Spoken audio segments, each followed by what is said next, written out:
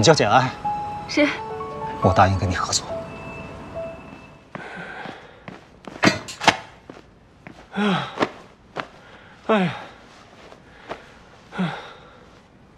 换人吧，这老家伙，我估计拿吊车吊，都吊不动。是不是你诚意不够啊？你诚意够，那你试试，反正我不行了。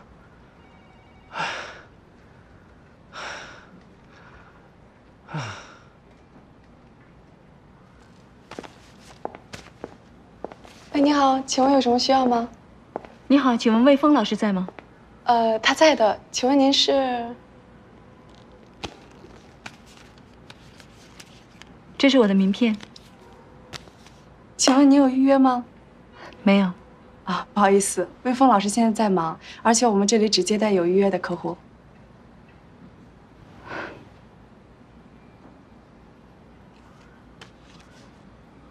魏峰老师，商业利益并不是首要的，我们更在乎的是服装本身。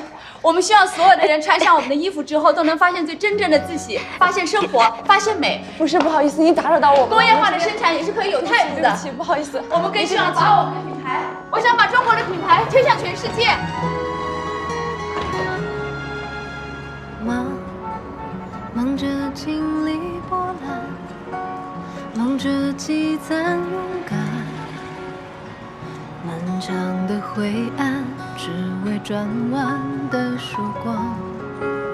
忙着规划日常，忙着应对无常，修炼的坦然，不管不顾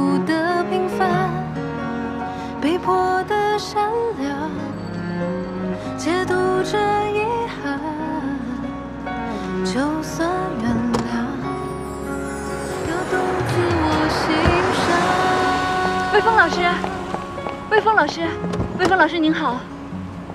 不好意思啊，我非常希望能够有机会跟您合作一个女装品牌，想法创意都尊重您的意见。这是我的名片。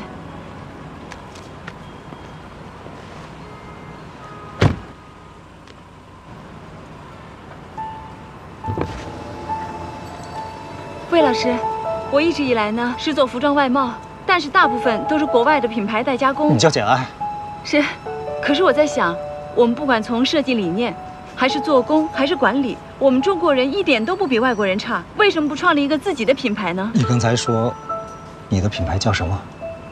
简爱女装。我答应跟你合作。魏老师，你答应我了。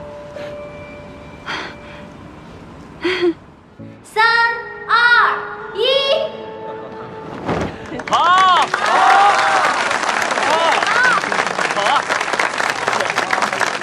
那有请各位嘉宾还有记者朋友移步厂房参观，这边请。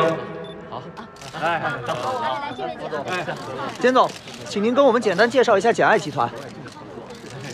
我们简爱集团呢，分为三个板块，一个板块是我们的简爱外贸，还有一个板块是一民制衣厂，另外一个板块呢是简爱女装品牌。